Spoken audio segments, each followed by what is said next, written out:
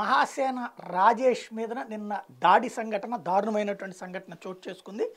మహాసేన అధినేత రాజేష్పై ఆదివారం రాత్రి తూర్పుగోదావరి జిల్లా రాజమహేంద్రవరంలో దాడి జరిగింది. జనసేన నగర అధ్యక్షుడు వై శ్రీనివాస్ పుట్టినరోజు వేడుకలకు హాజరవుతుండగా ఈ ఘటన చోటు చేసుకుంది. ఇది అధికార పార్టీ నాయకుల పనేనని జనసేన నాయకులు ఆరోపిస్తున్నారు.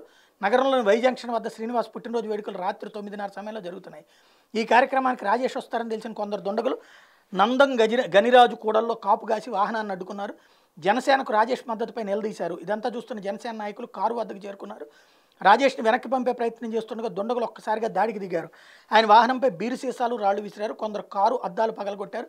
జరిగిన ఘటనపై మహాసేన రాజేష్ స్పందిస్తూ జనసేనకు మద్దతు ఇచ్చినప్పుడే ప్రాణాలకు తెగించా నన్ను చంపిన తర్వాత నా జాతి ఈ వైకాపా అక్రమాలను అర్థం చేసుకుంటే చాలు. ఈ ప్రభుత్వాన్ని ప్రశ్నించిన రోజే ప్రాణాలకు తెగించా.